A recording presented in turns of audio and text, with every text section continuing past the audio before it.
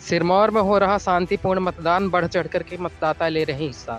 नमस्कार, मैं हूँ अनुपम अनूप आप देख रहे हैं द खबरदार न्यूज़।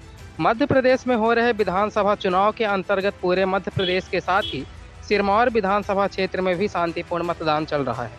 और इसी के अंतर्गत सिरमौर विधानसभा क्षेत्र में सीएम राइज स्कूल में शांतिपूर्ण मतदान चल रहा है, जहाँ पर मतदाताओं के द्वारा बढ़ चढ़ करके मतदान में हिस्सा लिया जा रहा है।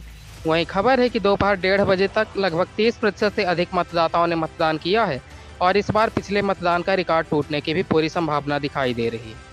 वहीं बात करें महिलाओं की हिस्सेदारी की तो महिलाएँ भी बढ़ चढ़ के मतदान कर रही हैं और इस चुनाव में पिछले मतदान की तुलना में अधिक संख्या में महिलाएँ हिस्सा लेती हुई दिखाई दे रही हैं और ऐसा लग रहा है कि कहीं न कहीं लाडली बहना योजना का असर इन चुनावों में दिखाई दे रहा है। खबरों से जुड़े रहने के लिए बने रहें द खबरदार न्यूज़ के साथ। नमस्कार, धन्यवाद। अगर आपको वीडियो पसंद आई हो तो वीडियो को लाइक करें, शेयर करें और हमारे चैनल को सब्सक्राइब करना ना भूलें।